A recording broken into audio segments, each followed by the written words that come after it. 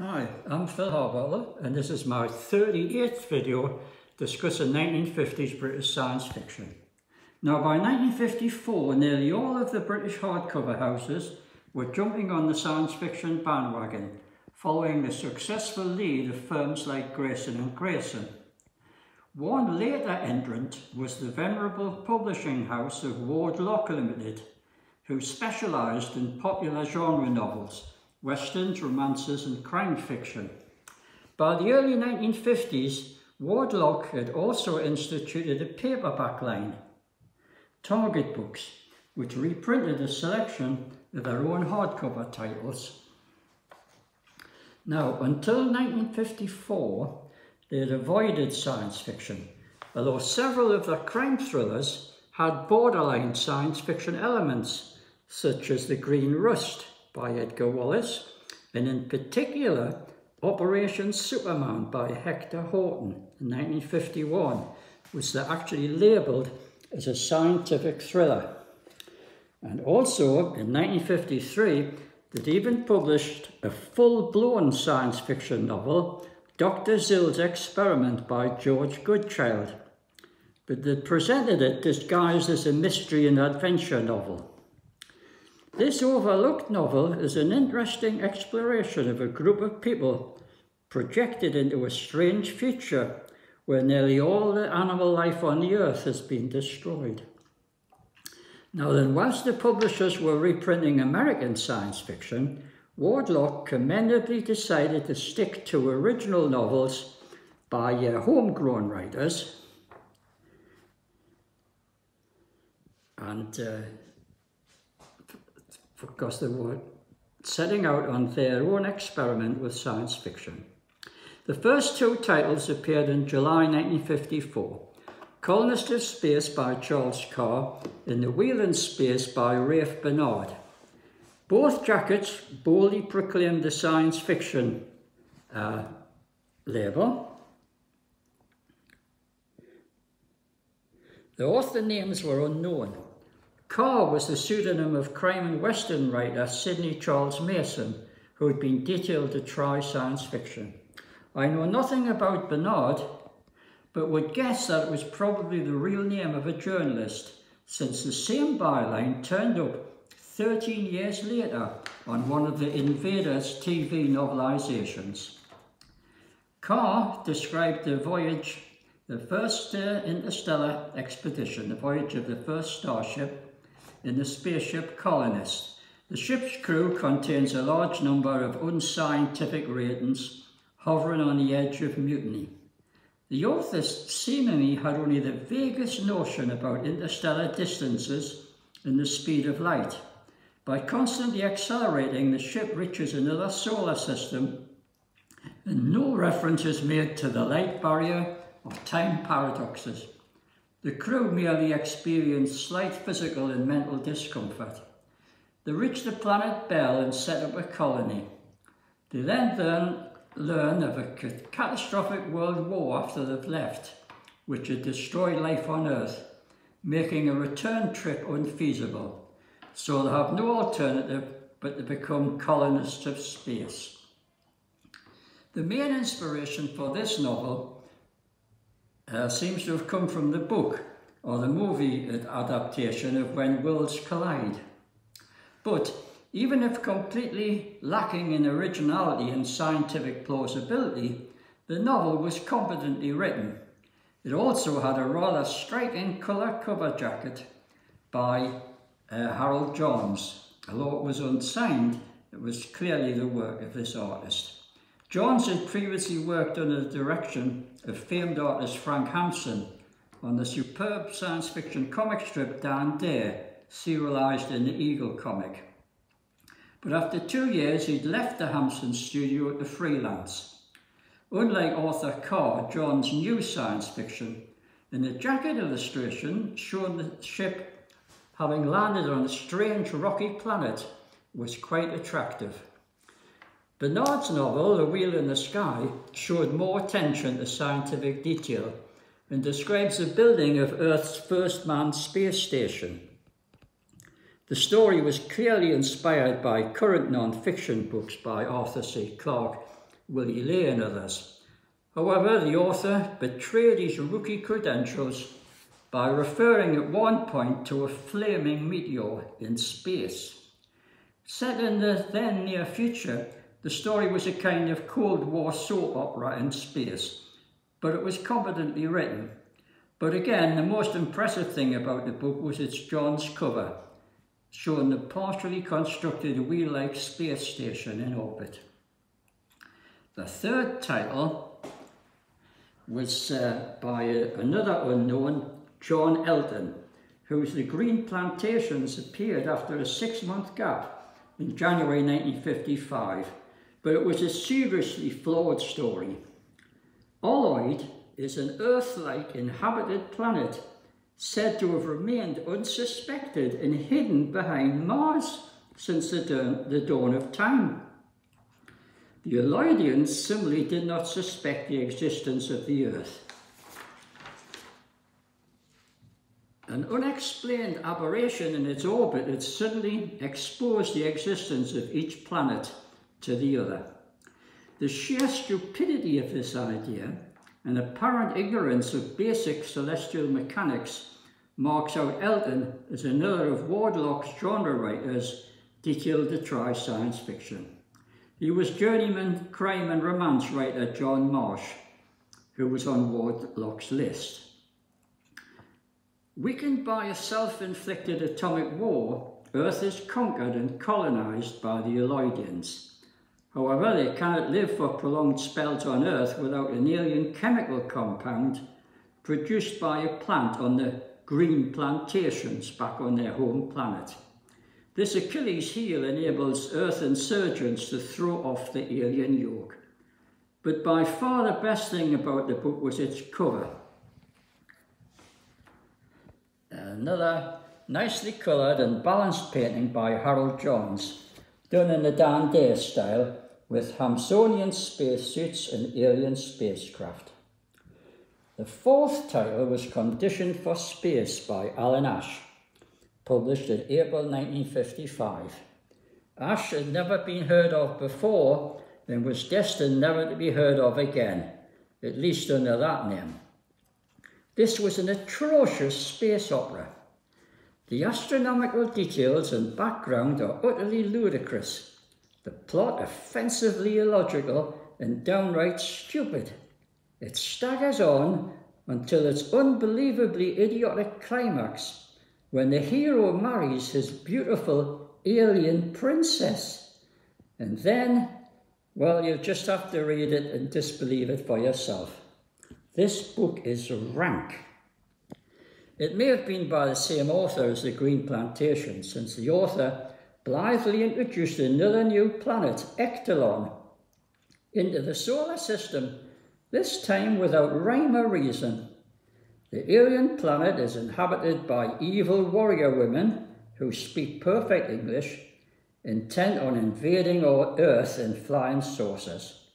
The whole thing is pervaded by a ludicrous camp atmosphere and the book oddly anticipated the later 1958 Hollywood Turkey film Queen of Outer Space.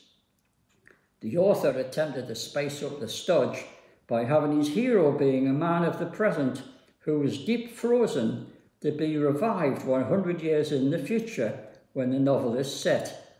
He's given a mechanical heart, which is supposed to help him become conditioned for space don't ask how. The book's cover was by Ron Embleton, an up-and-coming young British artist, noted for his strong figure work and beautiful colouring. He was not so hot on scientific scenes, so tended to illustrate action sequences on his science fiction cover work. This one showed a beautiful girl watching two men astride grotesque alien fish dueling with spears. It gave a fair approximation of the lurid contents, actually illustrating a scene in the book. Four titles had been issued between July 54 and April 55, none of them any great shakes as science fiction novels, but with attractive cover art. The sales were sufficiently encouraging for Ward Lock to decide to reissue the first two books in the Target Books paperback series in June uh, June 1955. These releases were followed up in July with another hardcover by Charles Carr, Salamander War, which we see here.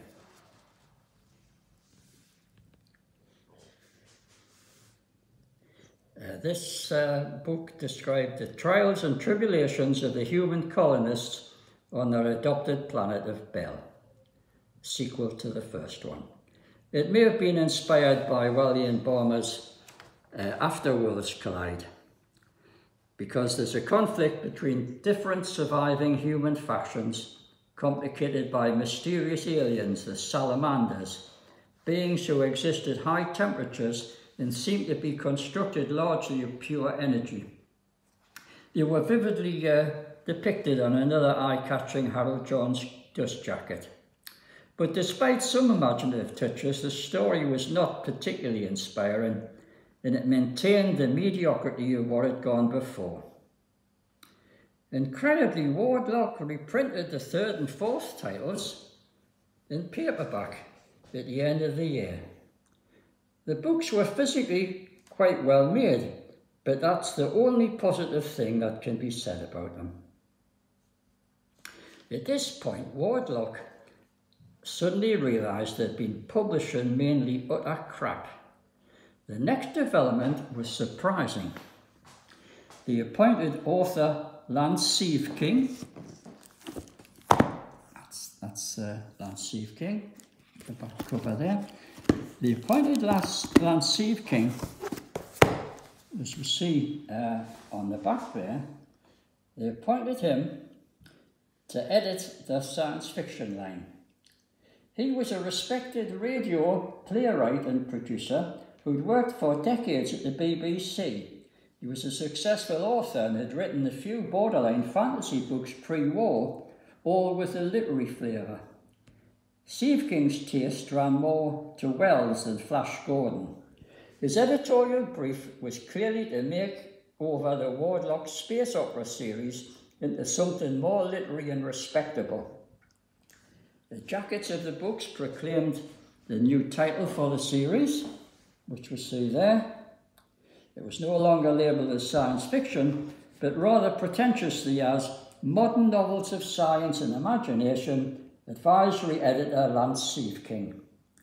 Sieveking promptly chucked out the previous writers, admittedly no great loss. And there we see the uh, first book in the series in September 1955, introducing the new writer Robert Conquest with his first novel, A World of Difference. Conquest was a highly literate figure, a poet, and a university-educated diplomat. He was, however, a science fiction buff and become well known in the following decade for his literate and stimulating run of science fiction anthologies co-edited with his friend Kingsley Amis, the Spectrum series. A World of Difference had a complicated plot of political and scientific adventure in the future centred around the discovery of an interstellar drive. It was, however, decidedly non-pulp. Sieveking's own novel, uh, A Private Volcano, published in October 1955, came next. The two-colour jacket consisted of a pretentious line drawings of two utterly boring intellectual type faces and a pathetic attempt to portray an erupting volcano. 10% volcano, 90% smoke. The author probably thought that his central idea, a mysterious element ejected from a volcano that has the property of transmuting metals into gold with resultant uh, catastrophic effects on society, was original. In fact, a very similar idea had already been comprehensively done in John Russell Fearn's Vargo Statten novel, The Catalyst, 1951. However, the treatment of the theme could not have been more different. Whilst the Fearn novel was a wild and woolly cosmic romp, Sieveking stayed down to earth and concentrated on character and the human side in an unusually literate and interesting fashion.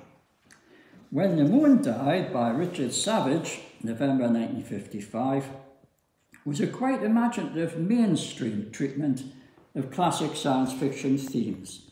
Alien explorers discover a devastated Earth in the far future, wrenched from the solar system. They find a tape record left by a historian which tells of a double catastrophe, how mankind had been on the brink of destroying itself until scientists had taken control, cowing the people by destroying the moon as a warning of their power. But the scientific utopia degenerates into a spiritless anthill, and rebels against the system repeat the mistakes of the past until mankind encompasses his own destruction. There was nothing original in the framework of the story. Once again, Fearn and other pulpsters had used the identical cosmic explorer of the ruins device several times. But Savage's novel was very well written and worked out. Savage has been identified as the pseudonym of journalist and novelist Ivan Rowe, who was better known for his excellent detective novels. In January 1956, we come to Pursuit Through Time by Jonathan Burke, and this concluded this particular series with an especially hideous arty cover. John Burke had written numerous science fiction novels for Panther Books and was a noted pre-war science fiction fan. His novel dealt comprehensively with time travelling into the past in order to alter the future. Burke was a careful writer whose imaginative plots were always worked out in human terms and never sensationalised.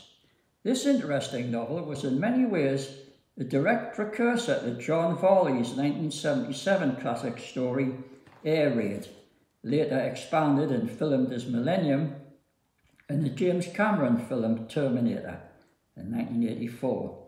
But Burke has never received any credit for his idea if time travelers snatching people about to die by natural accident so as to minimise repercussions on the space-time continuum. Burke's central theme of altering the future by removing key figures, such as emerging dictators, was of course heavily in indebted, as are most subsequent time tales, to Jack Williamson's 1938 classic The Legion of Time. Unfortunately, either Sieveking or a Ward Lock's art editor decided that the covers had to become more adult or arty to reflect the improved intellectual content of the books they illustrated. For some reason, British publishers always equate sketchy, shoddy illustration with good books. It is specious reasoning and the Ward Lock series probably faded out because of it. Had these later titles been illustrated by Harold Johns, they would today almost certainly be collected and remembered. Ward Lock would, however, publish another science fiction novel in 1956, but it didn't identify it as such, nor was it part of the Modern Novels of Science and Imagination series. Crossroads to Nowhere set in 2050 AD, was the first novel by Raymond Stark. It might have been a leftover from that aborted series, since it was long on philosophy and sociology as humanity struggles to rebuild after a devastating world war. Now, although they abandoned the science fiction experiment, Ward Lock would continue with the other genres uh, books with definite science fiction elements continuing in the crime series, uh, crime and mystery series, such as Paul Capon's uh, book you see there, Wonderbolt, and his Margin of Terror, 1955, and Bernard Stacey's Satan's Secret in 1956. These books were much better written than Ward Lock's earlier science fiction titles. There are probably more yet to be discovered, so good hunting.